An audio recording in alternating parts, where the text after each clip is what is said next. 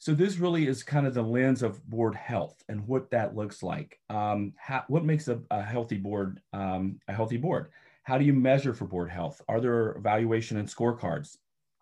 Some organizations, for example, uh, send out letters individually to their board members at the end of every year, saying this is how many meetings you made, this is your do uh, donation contribution, your give or get.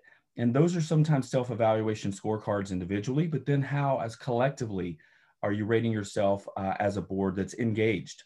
Uh, do you have good attendance or excellent attendance? Uh, do you have a culture of engagement?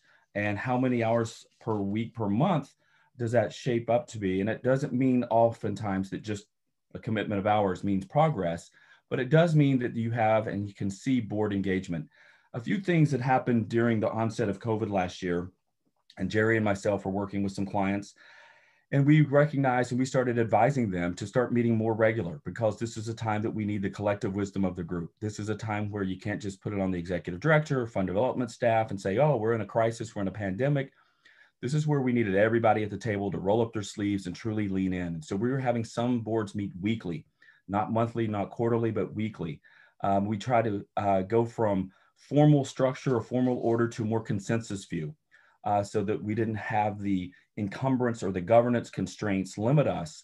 Uh, we really said, look, this is kind of make or break for some vulnerable organizations. This is also a tough, unknown, charted, uncharted waters.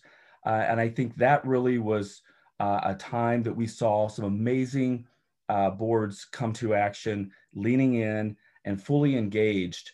And they've kind of continued that uh, as we've seen. They may have scaled back that they're not meeting weekly, but they're meeting monthly and they've loved the structures we set up for them in terms of what the dialogue, what the communi- communication and ownership of different functional roles. Uh, we suspended some uh, Robert's Rules of Orders because I think now we're going to a consensus view. And I think that is uh, where you want to start being very innovative on what does your board culture, governance, even traditional chairperson and leadership look like in terms of shaping that board culture.